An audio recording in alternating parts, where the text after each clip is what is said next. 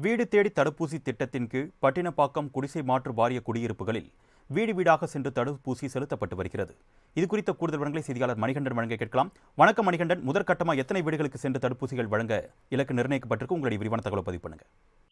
அஹ் வணக்கம் அருணேஸ்வர். இன்னும் தமிழகத்தில் கொரோனா நோய் தொற்று உயர்ந்தபாடில் அதாவது கிட்டத்தட்ட கொரோனாவின் நோய் தொற்றின் தாக்கம் குறைந்திருந்த வாரங்களின் எண்ணிக்கை ஆயிரத்திற்கும் கீழ் அந்த நோய் தொற்றுக்குள் பாதித்தவர்கள் எண்ணிக்கை ஆயிரத்திற்கும் கீழ் கட்டுவரப்பட்டிருக்கிறது இதுக்கு முக்கிய காரணமாக தடுப்பூசி செலுத்தப்பட்டிருப்பது காரணமாக தெரிவிக்கப்பட்டிருக்கும். இந்த சூழ்நிலையில் தடுப்பூசி செலுத்தாமல் இருப்பவர்களுக்கு விழிப்புணர்வு அவ்வப்போது தமிழக அரசு சார்பில் ஏற்படுத்தப்பட்டு வந்தாலும் தடுப்பூசி செலுத்துவது எவ்வளவு முக்கியத்துவம் என்பதை அறிந்து மக்கள் தடுப்பூசி செலுத்திக் கொள்ள வேண்டும் என அவ்வப்போது மக்கள் நல்வாழ்வுத்துறை அமைச்சர் அவர்களே விழிப்புணர்வு நிகழ்ச்சிகளில் கலந்து கொண்டு தெரிவித்து வந்தனர். இதனைத் தொடர்ந்து கிராமங்கள் உட்பட அனைவரும் தடுப்பூசியை செலுத்திக் கொள்ளும் விதம் ஏதுவாக அவர்களது இல்லங்களுக்கே சென்று தடுப்பூசியை செலுத்தும் திட்டம் தீபாவளிக்கு நா- இரண்டு நாட்களுக்கு முன்பாக தொடங்கப்பட்டது. நவம்பர் இரண்டாம் தேதி தொடங்கிய இந்த திட்டம் அஹ், தமிழகம் முழுவதும் இருக்கக்கூடிய பனிரெண்டாயிரத்தி ஐநூத்தி இருபத்தி ஐந்து ஊராட்சிகளில் ஒரு ஊராட்சிக்கு ஏழு கிளை கிராமங்கள் என்ற வகையில் எழுபதிலிருந்து எண்பது கிராமங்களுக்கு மருத்துவருடன் கூடிய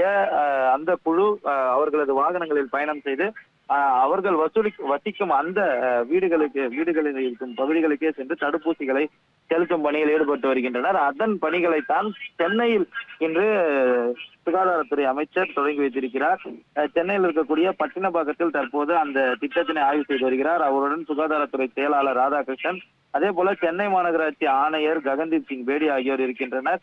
பட்டினப்பாக்கத்தில் உள்ள நொச்சிக்குப்பம் பகுதியில் இருக்கக்கூடிய தமிழ்நாடு வீட்டு வசதி வாரிய குடியிருப்பு பகுதிகளில் இருக்கக்கூடிய மக்களுக்கு வீடுகளுக்கே சென்று தடுப்பூசிகளை செலுத்தி அந்த திட்டத்தை குறித்து செயல்படுதலை குறித்து இந்த பகுதி அதிகாரிகளிடம் அது குறித்து கேட்டு வருகிறார். குறிப்பாக தமிழக அரசு நவம்பர் மாதம் இறுதிக்குள் முதல் முதல் தவணை தடுப்பூசி செலுத்திக் கொண்டவர்களின் எண்ணிக்கை நூறு சதவீதம் பூர்த்தி செய்ய வேண்டும் என்ற இலக்கை நிர்ணயித்து பயணித்துக் கொண்டிருக்கிறது. இந்த வாரம் ஏழாவது வாரமாக தொடர்ந்து மெகா தடுப்பூசி செலுத்தும் கேம்ப் சென்னை முழுவதும் நடைபெறுகிறது.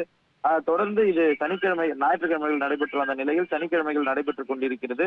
இந்த நிலையில் இன்று இந்த கேம்போடு சேர்ந்து வீடு தேடி தடுப்பூசி செலுத்தும் திட்டமும் சென்னையில் தொடங்கப்பட்டிருக்கிறது. அந்த திட்டத்தின் முதற்கட்ட பணிகளை தான் அமைச்சரும் அதிகாரிகளும் ஆய்வு செய்து வருகின்றனர் ரமேஸ்வர்